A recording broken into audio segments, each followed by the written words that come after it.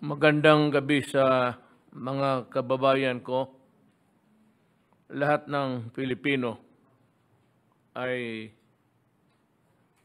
mahal ko kasi kadugo ko.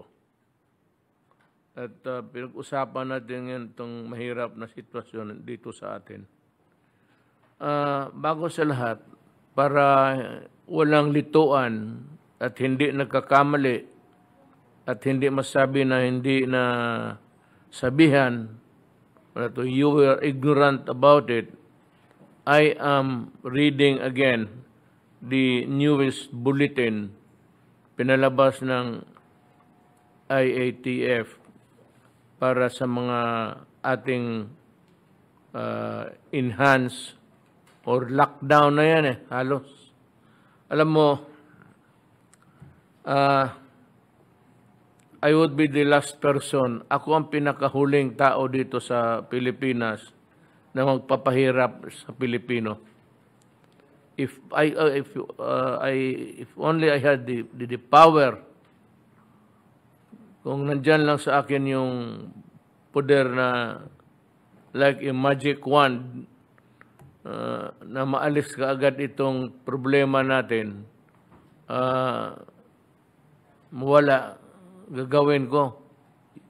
I'm having a hard time. I'm grappling with the issue of COVID. It takes most of my time, actually.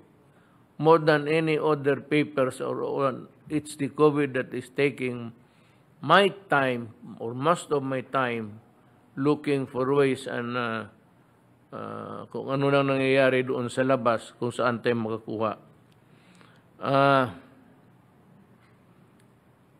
ganito na lang. Uh, basahin ko muna, tapos isunod ko kung bakit uh, we are allowing the private sector immediately na uh, to open the buying of uh, COVID uh, vaccines, anti-COVID vaccines, baski saan sila makakuha. Because ang ating gobyerno, eh, yun lang rin ang binigay sa atin, limitado. Uh, something has gone wrong in most of the countries. They are, uh, they Shanghai, yung Shanghai yung parang kinuha na nila na sa kanilang gobyerno at uh, ewan ko, there, there's uh, a, a Rocos now somewhere in uh, yeah, we are not allowed to to mention the the the name of the countries but uh, may there's something uh, there's a Rocos going on and uh, the fight for COVID possession uh, is ongoing. It's a very serious one. But before that, let me read uh, the ano ang klaseng uh, quarantine ang naka-impose sa mga mga no, babagay, mga not bagay, mga uh, places uh, local governments na naka ano sa ano naghihigpitan. I'll start by reading the places that are under enhanced community quarantine. Kagaya yan sa una, halos back to zero tayo dito. NCR, Bulacan, Cavite, Laguna, Rizal. That is uh, March 29 until April, April 4 ang kanilang subject to review. Ang modified enhanced community quarantine uh, ang Quirino province that is April 1 to 15, 2021. For the this is, uh, escalation of the uh, quarantine, the it will be loosened or stricter depending on the uh, depending on the result of the surveys. You know, today, Metro Manila, I think, registered one ten thousand sixteen, Nationwide po, sir. Ten ten thousand 16 po. 16. 10,000. ngayon. So, bakit ito mataas eh? Bakit? Eh, patuloy pa rin yung mikrobyo na gumagana sa katawan ng tao dito sa Pilipinas. Uh, to continue the modified enhanced community quarantine city of Santiago, Isabela. Ang general community quarantine the, the entire Cordillera Administrative Region. Region 2 is Cagayan, Isabela, Vizcaya. Region 4A, Batangas. Region 8, Tacloban. Region 10, Iligan City. Region 11, Davao City. Ang Barn, kasari ang Lanao del Sur. Dito tayo sa modified general community quarantine. Well, it is for the rest of the country. So aside from those countries that, that the places that I have mentioned, uh, yun yung mga stricto. Itong the, the rest of the Philippines, uh, modified general community quarantine lang. Now, bakit ganon? Uh, ang gobyerno ba natin nagkulang? Ang gobyerno ba natin uh, walang ginawa? Alam mo, sa totoo lang, ang naka-lockdown ngayon, naka-lockdown ang uh, the countries of Ukraine, France, Germany, Poland, Italy. Uh, 75% of Italy has entered a new lockdown in a bid to fight the rising rates of coronavirus. Hindi lang tayo. Nauna na lang sila nga sa vaccine. And yet, uh, itong may bagong strain, I won't, I, I, I'm not a, a, a, a, a, doctor or a medical uh, practitioner.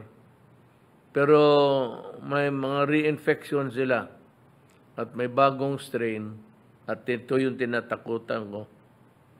Now, ito sa atin, kanina galing ako airport, may dumating na 1 million sinalubong ko.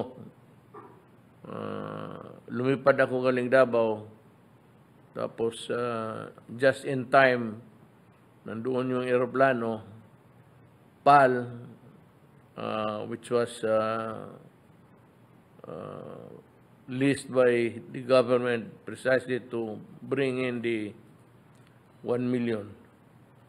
Ang sunod na delivery natin is uh, 2 million pero wala pang siguro yan. Uh, dito sa mga countries na ito na sinasabi ko, nag-aagawan sila. I, I cannot name the countries because I was uh, warned, warned not to mention the name. Nag-aagawan sila ngayon at ang sabi ko, hinold ang ano, hinold dapat sabihin yan kasi para malaman rin natin na how unfair it is really, especially if you are on the side of the poor, na yung ma mahold yung uh, bakuna. So, wala man tayong magawa. Akin ang decision is uh, I have a ordered uh, Secretary Galvez to sign any and all documents that would allow the private sector to import at will Baski mag uh, yung kano ilan ang gusto nilang ipasok. Okay sa akin. Tayong gobyerno, ito lang ang nakuha natin natin, ito lang rin ang binigay. Well, of course, uh, the, uh, hindi natin masabi na mas marami ang mabili ng private sector. But dito sa Pilipinas, maraming mga negosyante na gustong bumili kasi ibi- ibigay nila sa kanilang mga trabahante. You know what is the reason? Do you know the reason why? So that the economy can be opened. Yung mga factories nila, walang trabahante. Because itong ngayon, karaming restrictions sa mobility ng tao. There are so many strict restrictions and workers come from all places. So it's hardly uh, doubly hard for government really to to to alam mo itong teka muna ha let me uh, give you this warning pati magprangkahan tayo itong dumating ngayon na 1.2 million para lang ito tamang-tama lang ito sa mga frontliners sa mga health workers at yung yung lahat ng uh, may connection doon sa trabaho sa in fighting COVID. Ang gusto ko lang malaman, Secretary Galvez, itong mga, for example, medical people but who are not at all uh, doing work in a hospital or uh, mga practitioners yung yung hindi talaga may ibang negosyo, not the practicing ones, uh, should be considered also ordinary civilian?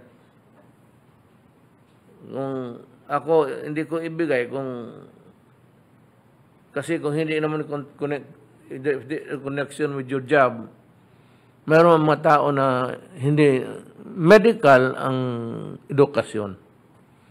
Medicine, nursing, pero hindi hindi na pinagpa-practice. They are not practicing their uh, profession. Would it be considered uh, also priority or just an ordinary uh, citizen who should be in line doon sa priority? Ah, tama po kayo, ah, Mr. President. They will not be considered as uh, healthcare workers for the simple reason, sir, na yung risk exposure nila halos wala compared to the healthcare workers in the hospitals, uh, both local and national, both public and private po, at uh, mga uh, iba pang mga facilities, ang uh, ating pong mga isolation quarantine facilities, yung pong ating mga uh, barangay health workers, yung ating pong mga doktor uh, sa mga AFP, PNP, yan po talaga kasama po yan sa A1 at sila po yung binibigyan natin ng prioridad. Ngayon, kung doktor na hindi naman nagpa-practice, halimbawa, negosyante naman sir, walang risk exposure in the same manner that healthcare workers who are actually working in the healthcare facilities are exposed. Yun lang po. Tama po kayo, Mr. President. They have to be considered as uh, part of the uh, the uh, general population and must follow the pecking order in the prioritization, sir. Just be on the reasonable side. Kung ano lang yung reason- reasonable. Kung hindi ka naman talaga uh, exposed sa anong klaseng mikrobyo because you have not visited any clinic or hospital, then you, you should be considered an ordinary person and uh, last in the priority of people would get the vaccine early. So itong naku nakuha ko na 1 million ngayon, tama-tama lang ito sa health workers. Yung 1.2 na expected natin ngayong April, uh, hindi pa sigurado to, pero tamang-tama pa rin ito sa mga health workers. Hindi pa ito for sa, hindi pa yung yung next in line doon sa priority. Yan yan ganong ah, kahirap ang sitwasyon ng mundo. Ah, meron tayo, naghahabol tayo, gusto nating bumili, may pera na tayo. Sinabi ng World Bank, pati uh, uh, the Asian Development Bank, o sige, pahiramin ka namin. Kaya may pera na tayo. Uh, the, the money is made available to us. I, I suppose that that's what the bank uh, has told our people. Uh, ang problema, kulang pa rin. So, we expect a very not really a dark future, but uh, we expect uh, a bleak uh, uh, months. In the, uh, baka mahawa ka nga eh. Ang problema, mahawa ka. So, yung mga private sector, eh ito warning lang ito ha. Huwag ninyo akong pilitin. Baka pupulutin talaga kayo kung saan-saan. I, I, I am not I, I am not threatening yung mga human rights nakikinig. Ito bang nag, nagpapabili ng mga fake itong nag import na yung wa- walang ano walang source tapos fake tapos ang mga tao magpabakuna magbayad ng mahal dahil nga may bakuna available hindi na maghintay I'm just warning you. Uh, wag na wag kayong magkamali dito na hirap na ang Pilipino tapos dagdagan mo ng ganitong ah, pamaraan ng hanap buhay. Pupulutin ka talaga kung saan. Hindi ako nagbibiro. Pupulutin ka kung kung saan ka ma itapon. Wag wag mong gawin ninyo yan. Wag warning ka. Mag, mag, magpeke na kayo ng mga candy dyan, pati ano, wag itong medisina. I'm warning you. I say it now. I'll say, I'm saying it again. And I will not say it anymore. Huwag kayong magkamali dito talagang well nasa iyo kung gusto mong kung gusto mo na panahon mo di sige hahanapin kita at uh, ibigay ko sa iyo ano ang dapat para sa iyo ganito lang ang mundo eh Ah, hindi mo mapigil yung mga ganitong klaseng krimen.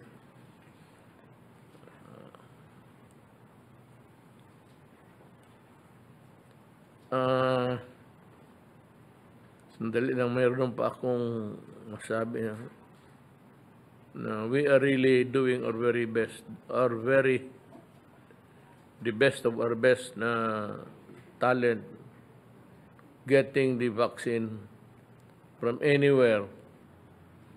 Na para minus-minus yung hawaan. Na intindihin ninyo itong mabuti mga kababayan ko. Pag hindi ito na, na ano natin, we have to understand government, allow a certain, uh, bigyan mo kami konting medyo stretch your uh, patience and understanding. We're doing our best. We are not a vaccine producing country. Wala tayong expertise, wala tayong knowledge, medical, scientific knowledge. So naghihintay tayo.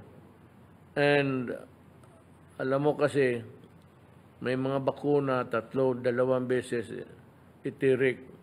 Usually, yung ano, yung Sinovac, dalawang beses yan. So, twice. Until that is uh, after one week, I think, you, you have to get another shot. So, yan, it, it stretches the a mile long ang ang ang, ang journey natin sa paano natin isugpo ang bakuna. That is how hard it is. Para makakuha lang talaga tayo. Yan, ganun kahirap. Gusto ko na umiyak sa harap ninyo, pero naubos na ang luha ko. Ay, buhay. Alam lang ninyo ang, ang para akong dumadaan ng purgatorio ngayon, this time, hanggang hindi matulungan lahat ng Pilipino. May isa pa pala ako, kaya pala ako pabalik-balik ng salita eh. Ah, yung mga na diskarel sa finances nila, na ano kayo sa pera, naghirap kayo kasi walang hindi makalabas. Ah, magdasal lang kayo. Ah, we will ah, give you the ah, ayuda. Ah, ayuda is ah, assistance help. Ah, Secretary ng Budget, si Wendell Bisado, Del ka ma, hanggang kailan mo maibigay? Ah, when can you make the uh, distribution? Uh, and explain to us how do you propose to do the distribution this time? Good evening, Mr. President and everybody in attendance. Uh, Very briefly, uh, can I request the Secretariat there to please share the uh, slides? This is how we're proposing, uh, Mr. President, the supplemental amelioration program for those affected by the uh, enhanced community quarantine in the NCR Plus and the four provinces. Uh, Mr. President, uh, the proposed supplemental amelioration program will be uh, given uh, as soon as we receive your approval, Mr. President, because the memorandum addressed to you is with, uh, if I'm not mistaken, with the Office of the Executive Secretary now. So, uh, Do you know if This it is- is, uh, do you know if it is already in my desk? Yung panggabi ko na study room, wala pa. Because kung nandoon na yan, pipirmahan ko kaagad this time. After this, diretso na ako doon sa bahay. Upuan ko na lang kung uh, saan na ang papel ngayon. But kung wala, I'd like to request the uh, CES to uh, expedite uh, soonest. Sige, Del. Yes, Continue. Mr. President, ah, ganito lang po yan. Ito po yung makita nyo sa first column, yung mga ah, local government units na covered at ang total population po nila based on the latest ah, estimates from the ah, Philippine Statistics Authority. At ah, out of the total ah, population, Mr. President, ang i-cover po natin is at least 80%, no? ng total population. Ah, kaiba ito nung last ah, bayanihan 1 natin, 75 lang. Ito ngayon, talagang dinagdagan pa natin, ginawa na nating 80%. So kung sa NCR po, ang 80% po dyan, ah, abutin ng mga 11.2 million. Sa Bulacan, 3 million. Sa Cavite, 3.4 million. Sa Laguna, 2.7 million at sa Rizal 2.6 million or a total of 29 point or rather 22.9 million. Next slide please. Diretsuhin kita. May pera tayo. Ah meron Mr. President, meron po. Kakaasa po kayo, may pera po tayo. Ito nga po ang funding source natin, ah 23 billion po. So makita natin dun sa total kanina, umabot lang ng 22.9. So may natira pa tayong konti sa 23 billion. Uh, the balance from the BTR certified sources uh, which will be utilized for this is pursuant to the authority granted to you under Bayanihan 2. Kasi po ang validity ng appropriations ng, ng Bayanihan 2 was extended until June 30. pursuant to RA 11519. So, ganito po ang magiging ah, kalakaran natin sa pagbibigay po ng ayuda. Ah, next slide, please. Ah, makita po natin na ang ating ibibigay ay 1,000 pesos per individual and not more than 4,000 per family. Opo. So, ang total funding requirement po niyan, ah, kung tagwa 1,000, ay abutin ng 22.9 million. So, yan po ang total ah, funding requirement natin. Ah, next slide, please. Ah, sa meeting po ng, ng ano po, ng ah, IETF kahapon, at ah, in the exigency of the need to provide immediate assistance, ang mga pondo po, once you have approved it, will be released to the LGUs for distribution to affected individuals in kind, in kind po, Mr. President, to ensure that food and other non-food requirements are adequately provided. So wala po tayong cash po dito po. Uh, we will leave it to the local government units dahil sila naman talaga ang first line of uh, pinupunta ng mga tao na sila po ang mag-allocate nito base po doon sa uh, approval ninyo na at least 1,000 pesos per uh, person. At makakaasa po kayo na once na-approvehan po ninyo, uh, antimano, mag issue na kaagad kami. Nakahanda na po yung SARO at NCA uh, na i-issue namin sa Bureau of Treasury.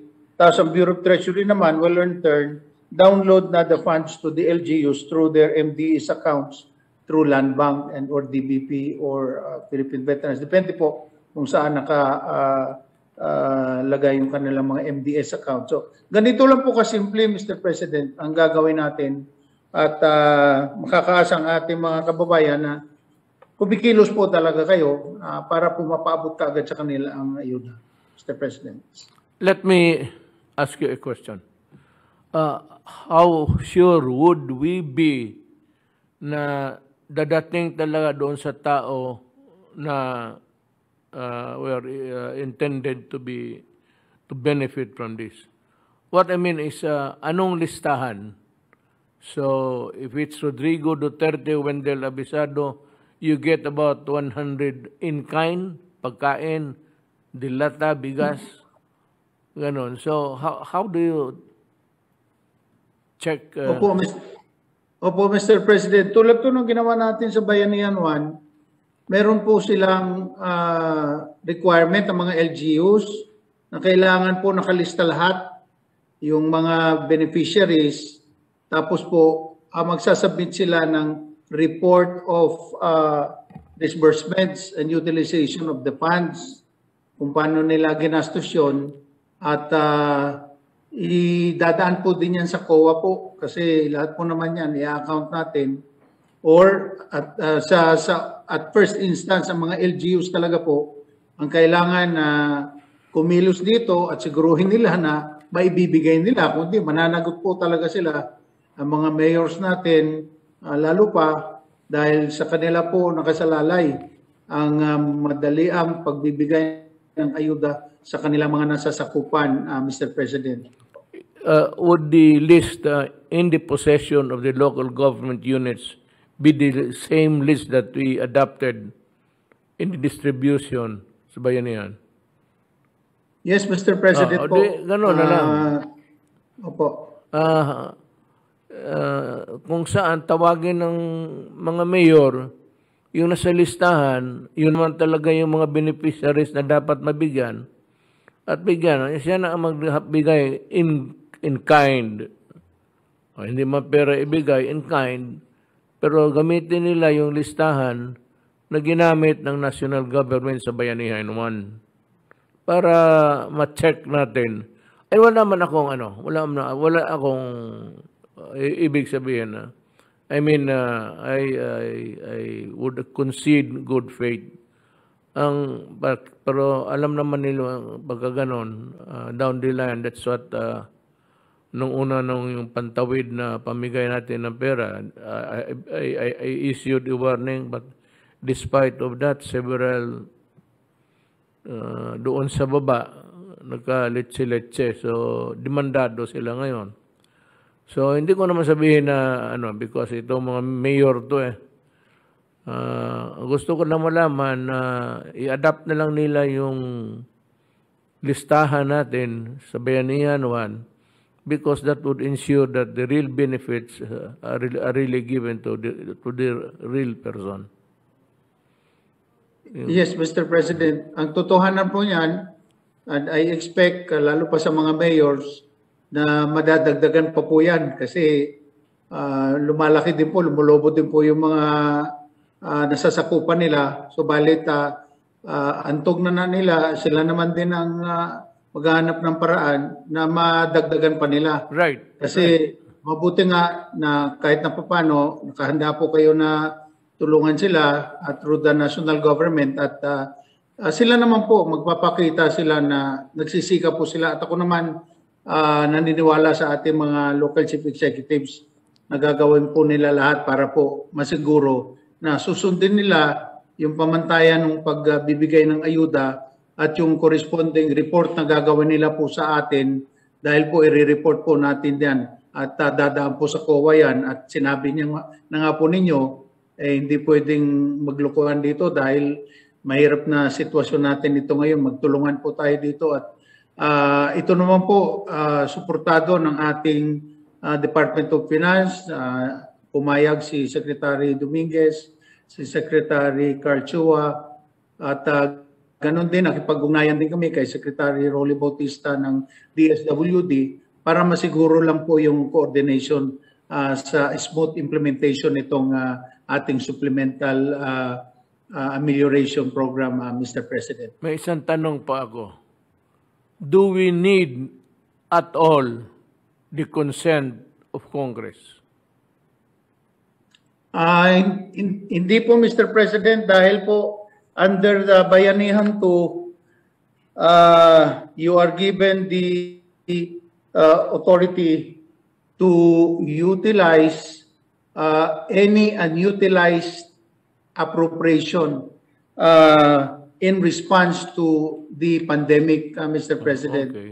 Ah, maliwanag po yan sa bayanihan 2. Kaya nga po, ito, ah, available po ito na mga pondo na gagamitin natin for this purpose.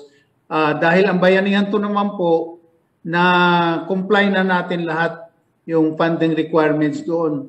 Umabot po yun ng 165 ah, billion, subalit ang release nga po natin umabot ng 165.6 billion pa.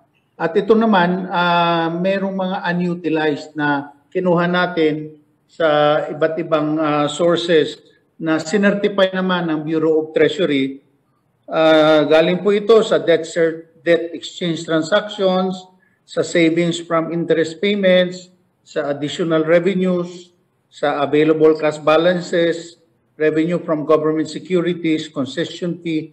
Dito po, wala po tayong ginalaw po na budget for this year dahil po ito nga po yung mga sobra na hindi pa na, natin nagagamit. Kaya maswerte din po talaga tayo dahil ah, kahit na papano masinop ang ah, pagkakamanage natin ng ating ah, ah, ah, pera. Kaya po kahit na papano may nadudukot po tayo. Opo. So, Sana uh, ah, ano, ano, ano ba tayo ngayon? Ah, 29, so siguro ang mga aabot yan mga by April, uh, first week of April. Kaya. Ah, sir, kung ma Nan- Nandiyan kung mo si... niyo po kung maaprubahan niyo po kagad, sir, marirelease po kagad yan. So if I sign it tonight, which, which I'm going to sign, uh, Ah, please, please. Please sign it tonight. si nandiyan man si uh, is uh, General Bautista listening also. Si Rule. Uh, nandiyan si Rule. Ro, uh, pakitulong na lang doon sa papaki uh, sort of a an oversight na map- map- mapadali yung transaction na pa-downloading, i-follow up